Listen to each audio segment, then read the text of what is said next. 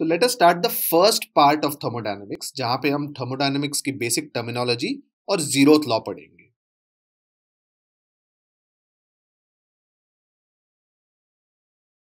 सो basic terminology में हमारा जो पहला डेफिनेशन है, वो है सिस्टम सिस्टम का डेफिनेशन होता है स्पेस में वो रीजन जो हमारे एनालिसिस का सब्जेक्ट है।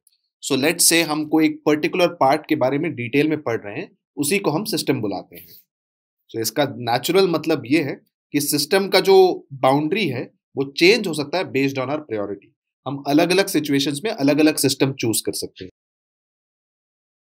एज एन एग्ज़ाम्पल अगर हम एक थर्मोडाइनमिक सिस्टम लें four cylinder four stroke engine जो गाड़ियों में यूज़ होता है इस थर्मोडाइनमिक सिस्टम में अगर मैं सिर्फ़ फ्यूएल प्लस पिस्टन का जो इंडिकेटेड पार्ट है उसको मैं स्टडी करूँ तो वो मेरा सिस्टम बन जाता है।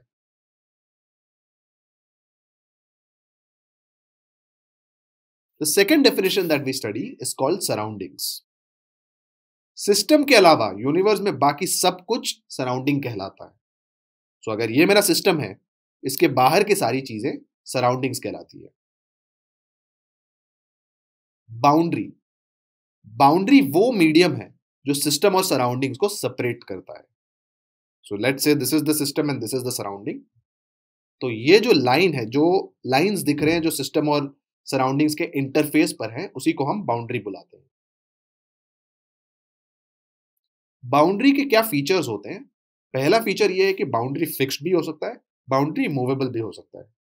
सो फॉर इंस्टेंस एक कंटेनर जिसमें एक लिड डाला है मैंने सो so, उस केस में कंटेनर के अंदर की चीज़ें सिस्टम है और कंटेनर के बाहर की चीज़ें सराउंडिंग्स है। वो लिड जो है वो एक फिक्स्ड बाउंड्री है। But on the other hand एक बलून बलून जिसमें मैं और हवा डाल के बलून के शेप को बदल सकता हूँ विच मीन्स बलून का जो रबर है, वो मेरा बाउंड्री है, ये मूवेबल बाउंड्री है। So because in this case system expand हो सकता है और बाउंड्री का कॉन्फ़िगरेशन भी चेंज हो सकता है। सेकेंड बाउंड्री रियल हो सकता है बाउंड्री इमेजिनरी भी हो सकता है। सो फॉर इंस्टेंस एक क्लोज यूटेंसिल में तो बाउंड्री रियल है बट मान लो एक ओपन पॉट में मैं कुछ कुक कर रहा हूँ तो वहाँ पे मैं इमेजिन कर सकता हूँ कि जो पॉट का अपर पार्ट है वो एक बाउंड्री है. Even though there is no lid there is nothing separating it उस पार्ट को मैं बाउंड्री इमेजिन कर सकता हूँ. That is again left to the person who is studying the system boundary की एक खास बात यह है कि उसको हम हमेशा नेग्लिजिबल थिकनेस का मानते हैं.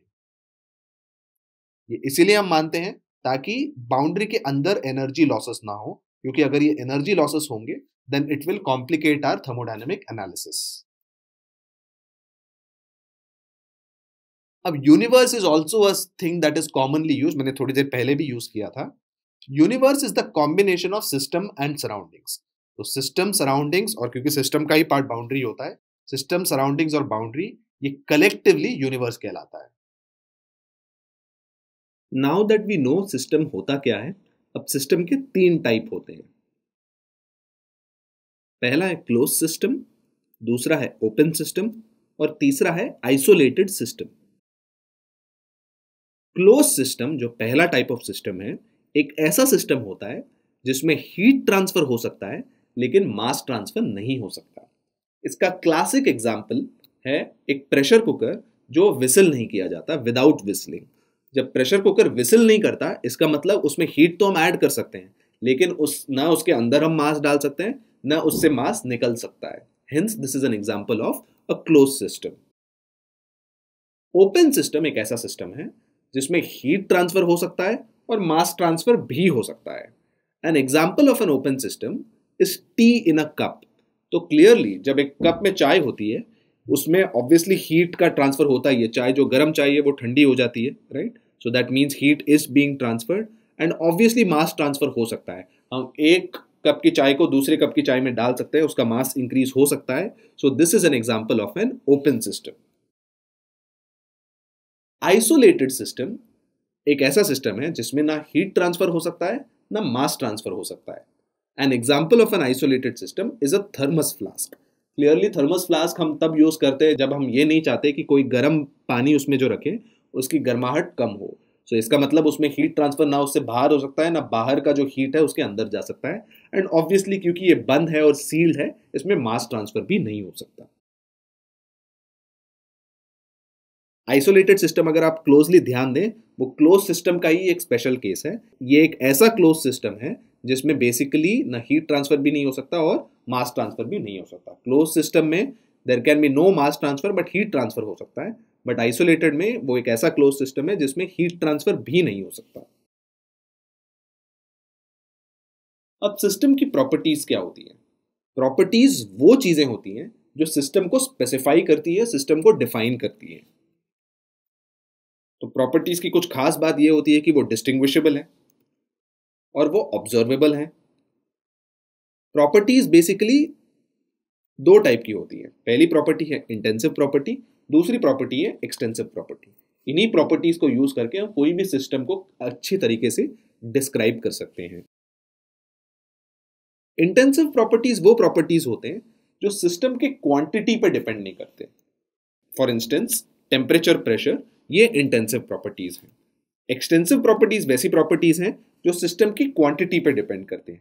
इसके एग्जाम्पल्स हैं मास वॉल्यूम और एनर्जी अब इसको समझने के लिए let's look at each of them in detail let's first see intensive properties so मान लो, मैंने एक क्यूब आइस लिया और आइस की टेम्परेचर ज़ीरो डिग्री सेल्सियस है। अब मैंने एक और क्यूब आइस लिया दो आइस क्यूब लिए टेम्परेचर अभी भी दोनों का ज़ीरो डिग्री सेल्सियस ही है। इसका मतलब मैंने सिस्टम की क्वांटिटी को बढ़ा दिया है but temperature still remain zero degree Celsius इसीलिए टेम्परेचर क्योंकि क्वांटिटी के इंडिपेंडेंट है, इसको इंटेंसिव प्रॉपर्टी बुलाते हैं। एक्सटेंसिव प्रॉपर्टी का एक का एक एग्जांपल देखते हैं।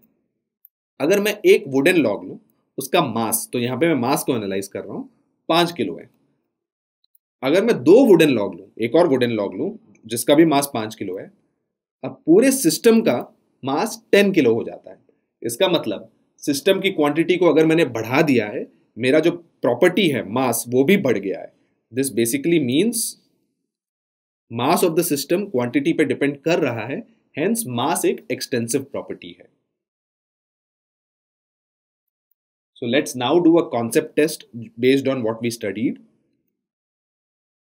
तो यहाँ पे आपको एक लिस्ट ऑफ़ चीज़ें दी गई है।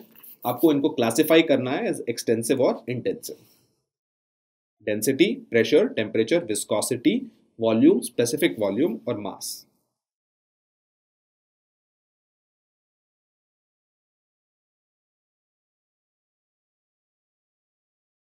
so let's see the solution for this तो यहाँ पे वॉल्यूम और मास मैंने जैसे एग्जांपल बताया था दे आर एक्सटेंसिव प्रॉपर्टीज़। हमने मास का तो एग्ज़ाम्पल भी देखा था कि क्वांटिटी बढ़ाने पे मास बढ़ जाता है और वॉल्यूम भी वैसे ही है। आप मल्टीपल सिस्टम्स लो तो वॉल्यूम उतना ही बढ़ जाता है। Intensive properties density density is a characteristic of characteristic जो क्वांटिटी पे डिपेंड नहीं करता। प्रेशर टेम्परेचर विस्कोसिटी ये सब मटेरियल प्रॉपर्टीज़ हैं अमाउंट ऑफ़ मटेरियल पे डिपेंड नहीं करती। नाउ थर्मोडायनेमिक्स में एनालिसिस के दो अप्रोचेस हैं। एक अप्रोच होता है मैक्रोस्कोपिक अप्रोच दूसरा होता है माइक्रोस्कोपिक अप्रोच मैक्रोस्कोपिक अप्रोच वो अप्रोच है जिसमें हम बल्क ऑफ़ पार्टिकल्स बहुत सारे पार्टिकल्स को एक साथ स्टडी करते हैं, लेकिन इंडिविजुअल पार्टिकल्स को नहीं देखते इस अप्रोच मैक्रोस्कोपिक अप्रोच को हम क्लासिकल थर्मोडायनेमिक्स भी कहते हैं। सो so बेसिकली हम इन सारे पार्टिकल्स को एकजुट होकर एनालाइज करते हैं बट एक एक अलग से एनालाइज नहीं करते बट कभी कभी हम इंडिविजुअल पार्टिकल्स को भी एनालाइज करते हैं। उस अप्रोच को माइक्रोस्कोपिक अप्रोच बुलाते हैं and that is also called statistical thermodynamics तो इस बल्क में अगर हम एक पार्टिकल अलग से ले लें और सिर्फ़ उस पार्टिकल को देखें तो वो माइक्रोस्कोपिक अप्रोच हुआ और वो फॉल करता है under the purview of statistical thermodynamics